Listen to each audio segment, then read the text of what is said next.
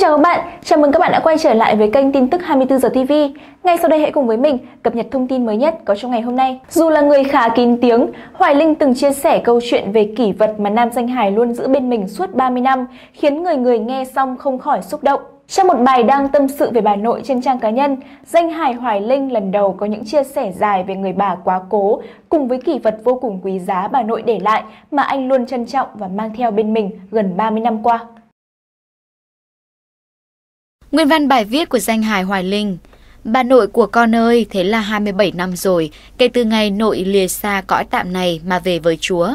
Hôm nay dỗ nội, tự nhiên con thấy lòng mình có cảm giác khó tả.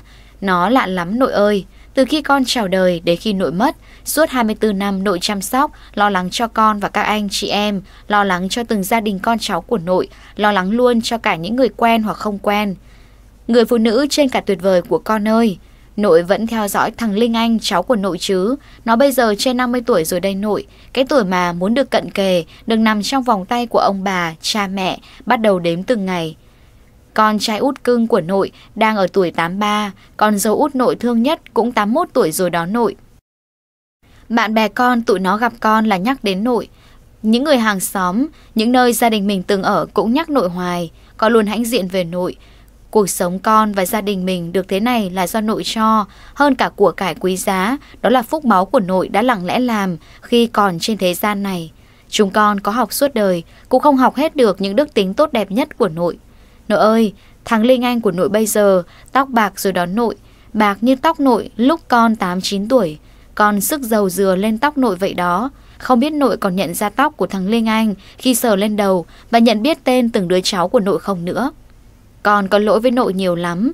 Nhiều hơn những gì tốt đẹp nhất Nội đã dành cho con trong cuộc đời này. Con hư quá phải không nội? Con xin lỗi nội, xin lỗi nội. Con nhớ nội, cầu xin Thiên Chúa. Nhờ lời cầu bầu của nội Các gia đình con cháu nội sẽ luôn được sự quan phòng của Ngài. Kỷ luật vô giá này sẽ là vật bất ly thân với con nội ơi. Là người sống tình cảm và nặng tình, thế nên với sự ra đi của người bà, có lẽ là sự mất mát không bao giờ có thể bù đắp đối với Hoài Linh. Đối với anh, bà có lẽ giống như một người luôn quan tâm chăm sóc, hy sinh cho con cháu. Do đó mà mỗi khi nhắc đến bà nội, nghệ sĩ Hoài Linh không giấu được cảm xúc thương nhớ, hối hận vì không gần gũi, chăm sóc bà nhiều hơn. Rất nhiều khán giả bày tỏ sự xúc động với tình cảm sâu nặng nam danh hài dành cho bà. Chị gái Hoài Linh xúc động, thương em của chị nhiều, khuya rồi em nhắn tin, chị hai ơi, em nhớ nội, làm chị bùi ngùi, không ngủ được, nước mắt cứ chảy. Thấy em mình nhắn tin cảm giác như em còn rất nhỏ. Ôi nghe thương thương em làm sao?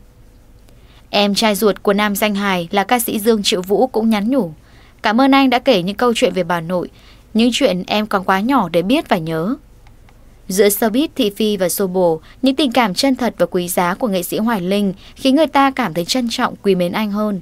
Sự giản dị và mộc mạc cả trong lối sống lẫn cảm xúc của vua hài là điều ít người có thể học được.